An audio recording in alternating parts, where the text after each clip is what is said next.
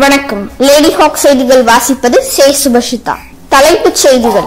Shanghai ஒத்துழைப்பு அமைப்பின் கூட்டத்தில் பிரதமர் திரு நரேந்திர மோடி காணொலி காட்சி வாயிலாக இன்று உரையாற்றுகிறார். சரக்கு மற்றும் சேவை வரி குழுமத்தின் கூட்டம் மத்திய நிதியமைச்சர் திருமதி நிர்மலா சீதாராமன் தலைமையில் இன்று லக்னோவில் நடைபெறுகிறது. நிதிநீர் பங்கீடு தொடர்பாக தமிழக கேரள நீர்வளைத்துறை முதன்மை செயலாளர்கள் பங்கேற்கும் பேச்சுவார்த்தை இன்று திருவனந்தபுரத்தில் நடைபெறுகிறது.